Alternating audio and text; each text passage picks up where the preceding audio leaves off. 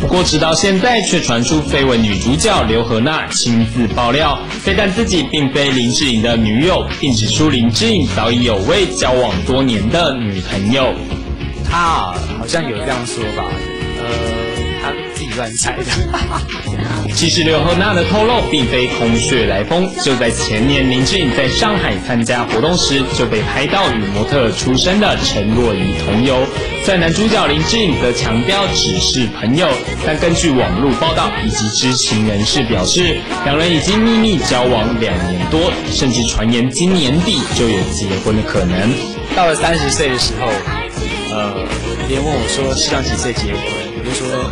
三十五，可是又过得很快。现在今年即将又满三十五了，所以呃，对于未来几岁结婚哦，我想，我只能说四十吧。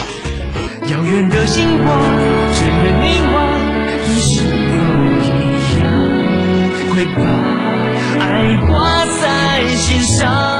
林志颖的绯闻对象还有一位人气火红的女明星刘亦菲。从演出古装剧《天龙八部》开始，两人结下了不解之缘。双方不论外界如何报道绯闻，林志颖和刘亦菲总是不避嫌的为对方站台。跟刘亦菲啊，那也不算传吧，就是外界在猜测说她的这个意中人是谁。那没想到大家会猜到我，后来他自己也承认了，就说其实并不是我。那我觉得小诗真的是一个特别特别可爱的人。虽然第一次我见他的时候还不知道这位著名的小旋风，然后，但是后来才知道他是这么厉害的一位偶像。很开心，觉得今天大家特别的热情，舞台很好看。